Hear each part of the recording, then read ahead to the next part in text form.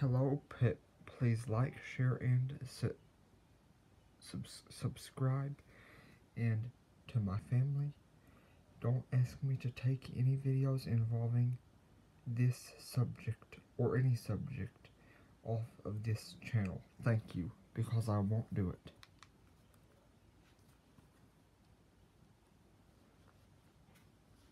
Chapter 18 Then the Lord said to Moses, Say this to your people, the Israelites I, the Lord, am your God.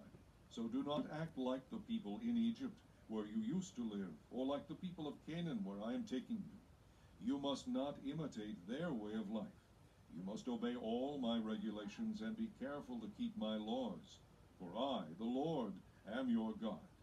If you obey my laws and regulations, you will find life through them.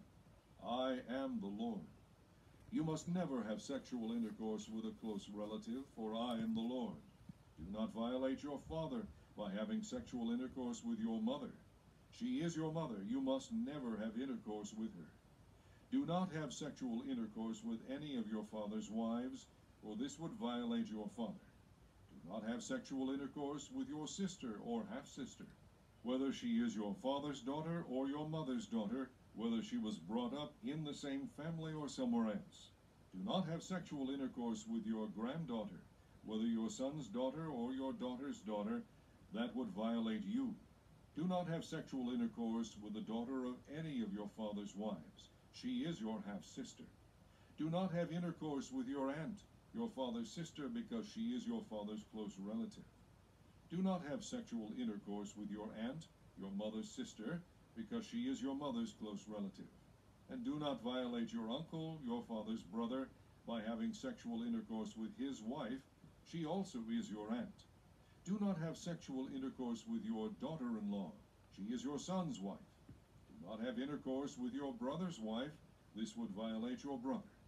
Do not have sexual intercourse with both a woman and her daughter, or marry both a woman and her granddaughter, whether her son's daughter or her daughter's daughter.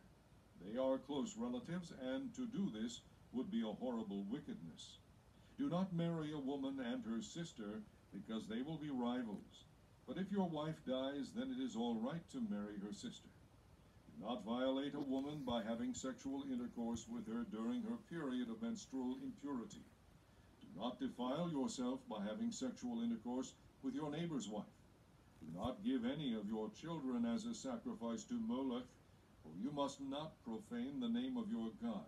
I am the Lord. Do not practice homosexuality. It is a detestable sin.